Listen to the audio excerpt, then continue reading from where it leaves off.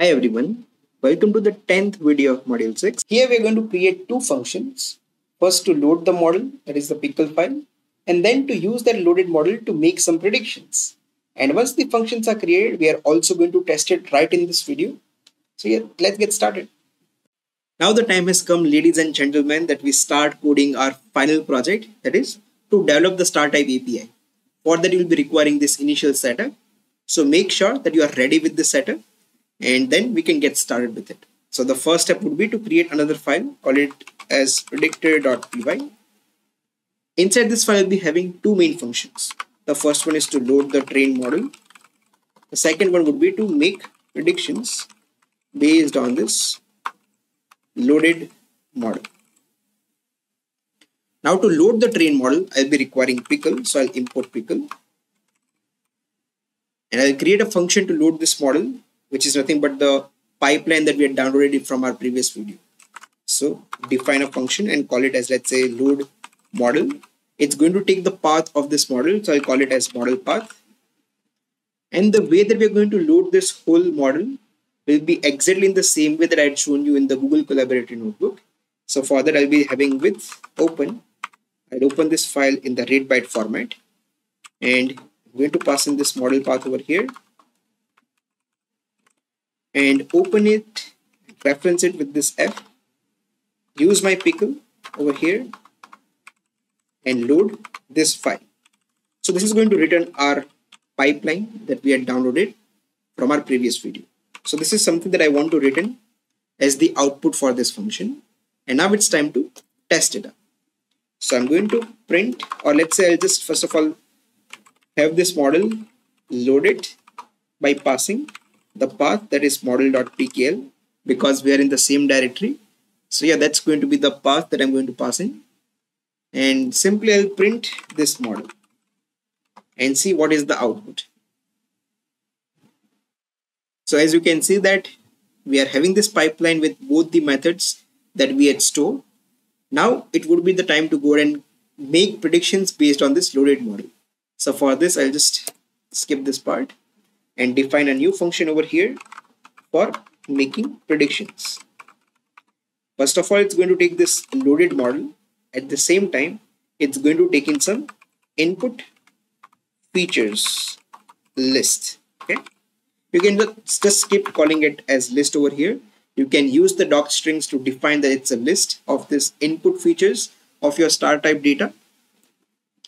And over here, because I'll be having this input features, I'll also define it over here. These are nothing but the input of the star properties that I'll be passing as an input as in for this API. And the response of this API would be the output of that class that your model is going to predict based on these inputs. So just for the testing purpose for now, I'll be having the temperature value as 2637.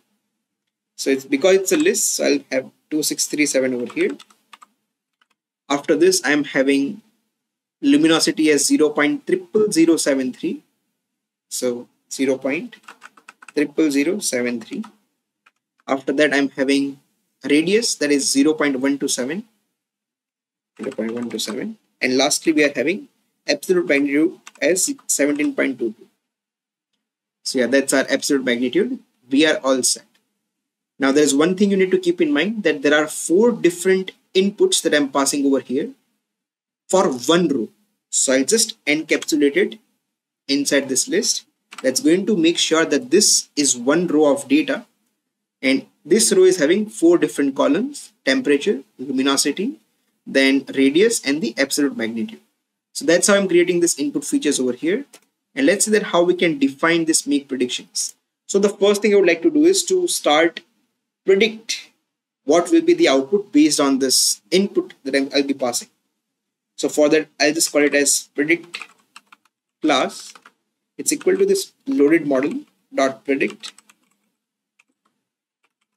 And it's going to predict based on this input features and I'm going to return this predict class and I'll be testing this by doing print make predictions.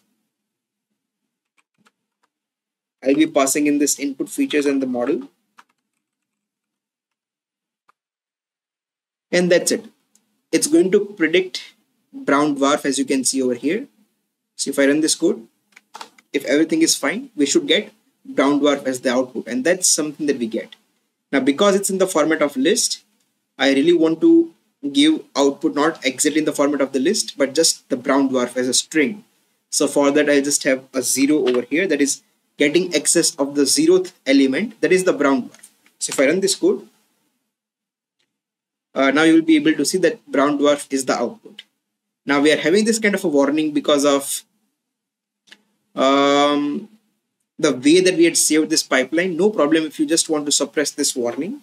You can import warnings and over here you're going to say that warnings dot filter warnings.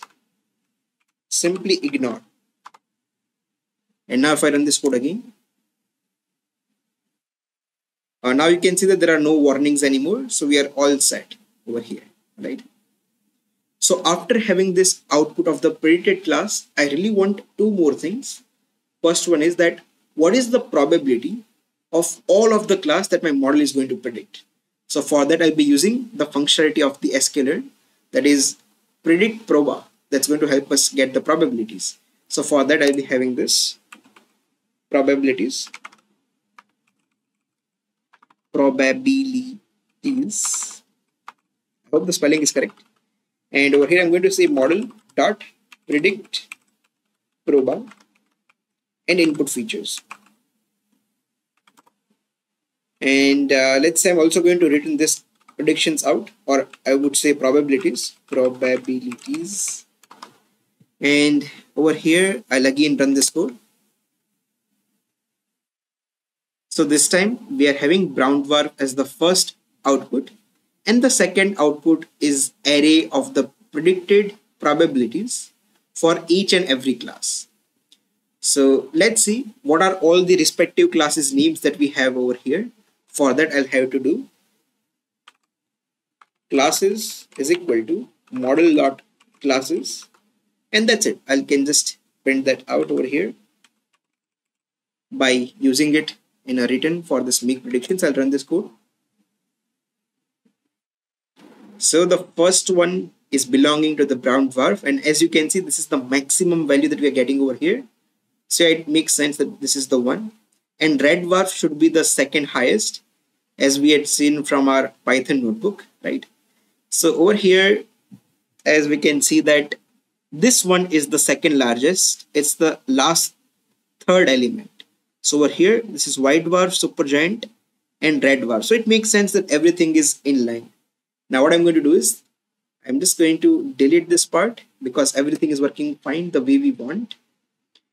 And I'll also delete this part over here because this idea of this file is to just have these two functions that are ready for us over here. So that in the next file that we'll be creating we can simply import these two functionalities from this file okay?